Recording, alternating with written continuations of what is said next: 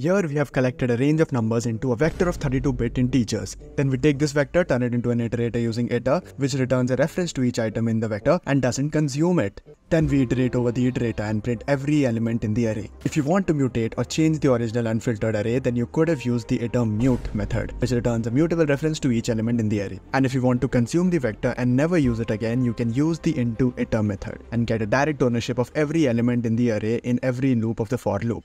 In languages that don't have iterators provided by the standard libraries, you cannot simply iterate over an object like a list. One must declare an index followed by an accession of each element with the index incrementing itself in each loop till the index becomes the length of the list itself. Iterators handle all that logic for you. Cutting down on repetitive code you could potentially mess up. For example, in this block, we create a new vector and iterate directly through it. Here, in each loop, we are using up the vector and we will not be able to use it again according to the Rust compiler's foundational rules. If you, for some reason, did want to use it after it has been consumed by the for loop, you can by not consuming it in the for loop. By iterating through a reference to a vector, you can go through the entire vector without using up the vector itself. Since it's a reference, the data is sure to be accessible and present in the memory after the for loop ends. Another way to do this is simply use the iter method on the thing that you are trying to iterate over to get access to the references of each element in the vector.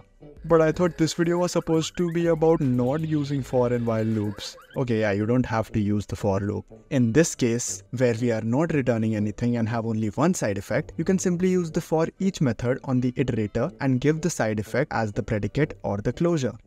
That's cool and all, but what if I'm trying to filter my vector based on a condition? What would the method to filter a vector even be called? Yeah, you're right. It's called the filter method, and based on any condition, or what Rust likes to call it a predicate, you can filter through your entire iterator based on a condition that you provided. Only the members that pass the filter test will then be allowed to go through the filter method. Let's take a deeper look at the filter items function. First, we turn the input into an iterator since it can only be a vector of integers. Then we use the filter method to filter through all the members to only find the members which are greater than 10.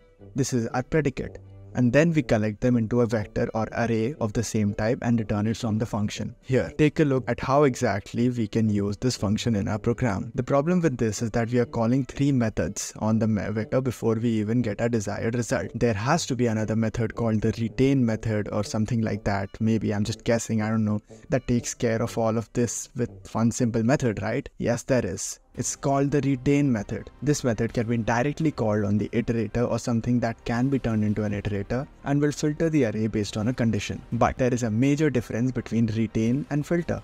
Do you see it? No?